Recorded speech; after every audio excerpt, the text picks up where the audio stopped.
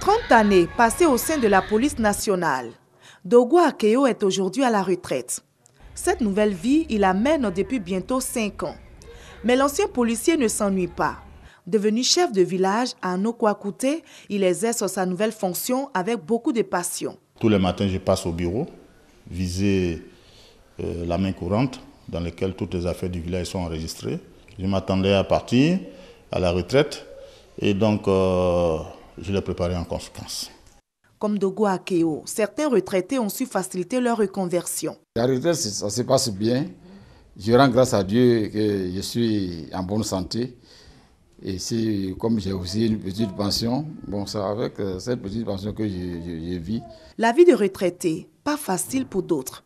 Manque de préparation, de planification. Comment faire pour subvenir à ses besoins les plus élémentaires? Les retraités éprouvent d'énormes difficultés. Je ne suis pas heureux parce que d'abord, moi-même, je suis rentré à la fonction publique un peu âgé.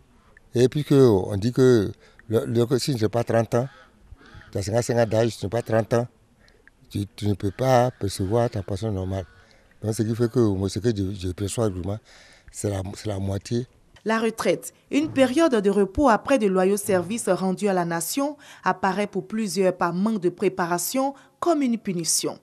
Et pour occuper ce temps libre, l'on s'adonne à des jeux, notamment la pétanque, le ludo, le jeu de dames.